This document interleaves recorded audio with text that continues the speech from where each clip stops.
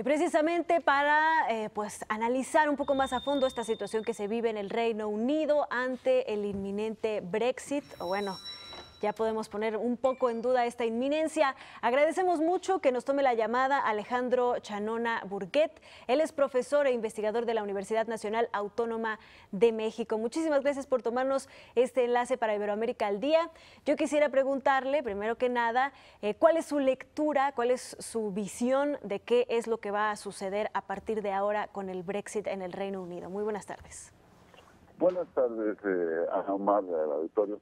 Pues yo creo que la, salvó, se salvó por un pequeño margen precisamente, yo siento que el desgaste que tiene la primer ministro británica no quiere decir que ya la libró, me parece que queda en el aire el, el, fracaso de la votación del acuerdo a partir de la insatisfacción inclusive de un ala muy rebelde de los Tories, de los conservadores. En esta lógica yo no descartaría que más allá de que la libró para que no hubiera la moción de censura, sí creo que Teresa May va a tener que valorar de manera unilateral un llamado para unas elecciones legislativas tempranas y valorar qué opción quiere para lo del Brexit, que, por el momento fue derrotado, es decir, un acuerdo que se negoció a lo largo de 17 meses, con más de 500 páginas, y que fue, en mi opinión, debilitado por la imposibilidad de clarificar el futuro de la frontera irlandesa Irlanda del Norte, que pertenece al Reino Unido, y la República de Irlanda del Sur. En esa lógica, me parece que eh, no quisieron entregar el poder. Los Tories se sienten muy desgastados porque finalmente el llamar a elecciones va a implicar abrir la posibilidad de que ante el desgaste de May y su, desprestigio, hay que decirlo con todas sus letras, Jeremy Corbyn pueda abrir la posibilidad de ser el próximo primer ministro y el regreso del laborismo. Entonces, me parece que quedaron equilibrios muy inestables y que vamos a ver qué plantea en lo que sigue en, puntos finales. Por lo pronto, sí creo que se abre la posibilidad de que se siga debilitando un tratado de salida o un tratado aplicando el artículo 50 y eventualmente quizá les convenga una ampliación del plazo más allá del 29 de marzo, Ana y demás. Claro, pero del otro lado de la moneda está precisamente la Unión Europea. Eh, ¿Cuál es la postura de la Unión Europea? Supongo que esto pues genera mucho descontento, puesto que eh, genera inestabilidad y seguramente eh, el nuevo planteamiento de un Brexit negociado pues le va a generar más exigencias a la Unión Europea que probablemente no estén de acuerdo. Entonces, eh, también la Unión Europea eh, supongo que está reaccionando al respecto. ¿Qué es lo que eh, sugeriría en un momento dado la Unión Europea o cuál sería, a partir de lo que estamos viendo actualmente, lo más benéfico para el bloque europeo?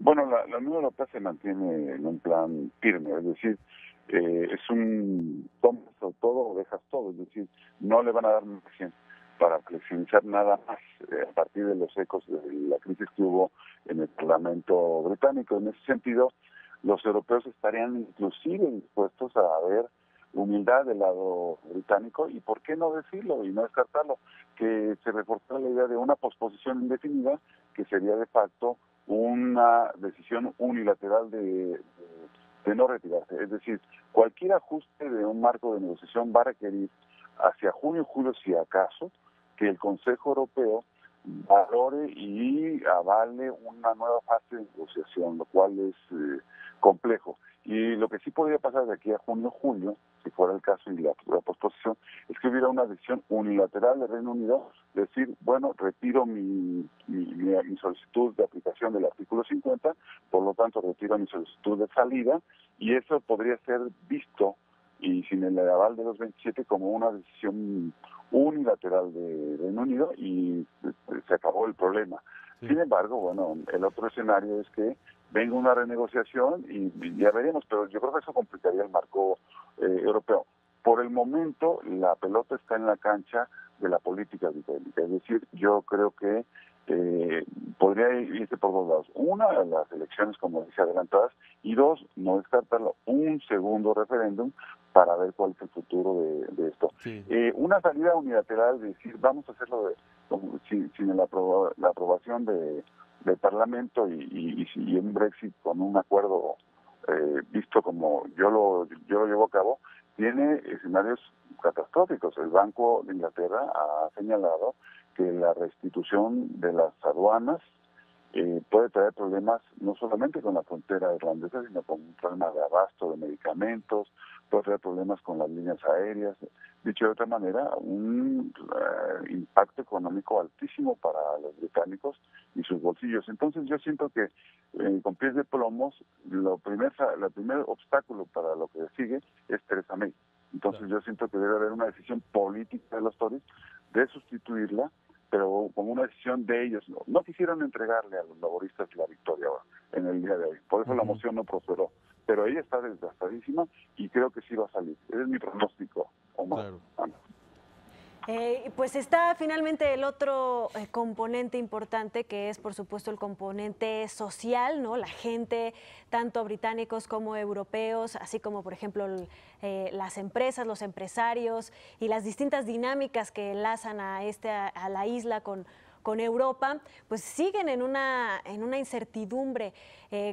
¿Qué, se puede hacer también para darle, digo, además de obviamente esto, concretar lo más pronto posible esta salida de Theresa May o ver qué es lo que plantea este próximo lunes, pedir un plazo por parte de la Unión Europea para, para la activación del artículo, o más bien para la concreción del artículo 50? ¿Qué más se puede hacer para de alguna forma darle certidumbre a la gente que no sabe cuál va a ser estrictamente su futuro? Mira, sin haber leído las 500 páginas de la propuesta que hicieron al Parlamento, que fue un fracaso, eh, la salida era darle una, un marco de libre comercio o un acuerdo de asociación de libre comercio tipo Noruega, donde hubiera garantía de los flujos comerciales y las transacciones comerciales y las transacciones económicas y financieras pero no veo a los europeos con ánimo de ah, te sales y te sigues, te mantenemos con, muchos privilegios. Es más, queda por ahí, hay que ver la cifra, que la salida le iba a costar eh, miles de millones a, Reino Unido, o sea, pagas pero no te vas libre. Entonces ahí hay en juego eh, cifras muy importantes, eh, obstáculos a la economía británica que son costos que hay que pagar y en ese sentido me parece que eh, no se ve muy cómoda ya la situación para Reino Unido. Mi pronóstico, por la simpatía que tengo del proyecto histórico de la Unión Europea, es que mal les valdría un reversazo, pero pues eh, va a depender mucho de cómo lo manejen los conservadores, pero el costo político para los Tories de mantener a May es muy alto. Y en ese sentido, en una elección próxima, que insisto, no se, no se ve clara ya en el horizonte, pues andan, andan, andan regresando los laboristas y anda regresando Jeremy Corbyn. Entonces, yo creo que un acuerdo de retirada, este, por el momento, eh, tiene que este, estar, bueno, estar en la cancha de Londres para explicar cómo salir del calzón sin salida.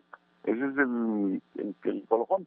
Pues sí, pues ni modo, pues tendremos que estar muy pendientes a las próximas horas, cada minuto cuenta a partir de ahora. Por lo pronto, le agradecemos mucho a Alejandro Chanona Burguet, profesor e investigador de la Universidad Nacional Autónoma de México, que nos haya ayudado a hacer este pertinente análisis. Muchas gracias, un fuerte abrazo. Saludos a todos, hasta luego.